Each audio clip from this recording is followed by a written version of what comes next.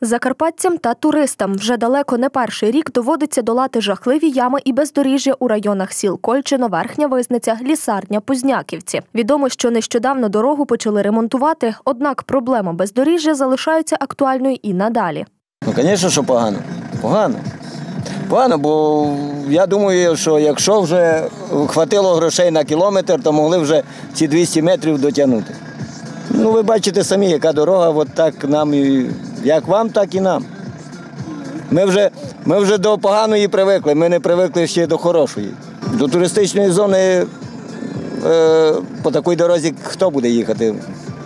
Самі розумієте, що е, при такій дорозі туристичний бізнес тут буде не процвітати.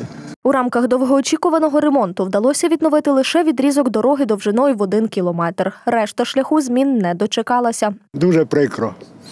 Могли вже не знав, що їм не вистачило. Там, де самі мають ями, то там все залишилося так, як було. Та там літом особливо, там зона відпочинку, людей багато їздить сюди. Ну, де не важливо. Та й там і села вверху, там теж далеко. Та люди ті бідні, як їздять постійно по таких дорогах. Ну. Та, а не знаю, чого так роблять. Кусочком там, кусочком там. Місцева влада пояснює цю ситуацію відсутністю достатнього фінансування. Автодорога місцевого значення знаходиться на балансі служби місцевих автомобільних доріг у Закарпатській області.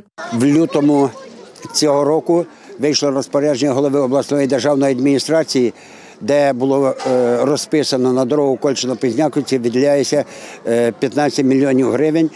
Тобто то було би приблизно коло 5 кілометрів е, асфальту.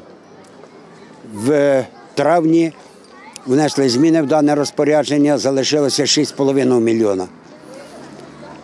В кінці вересня, коли почали робити ремонт, я випадково взнаю, що знову внесені зміни в розпорядження, залишилося 3 мільйона 150 е, тисяч і зроблено тільки один кілометр з п'яти, які планувалися зимою. Як буде далі, час покаже. Тож, коли дорогу відремонтують повністю та чи з'явиться нарешті якісне дорожнє покриття на шляху до туристичної зони, залишається під питанням.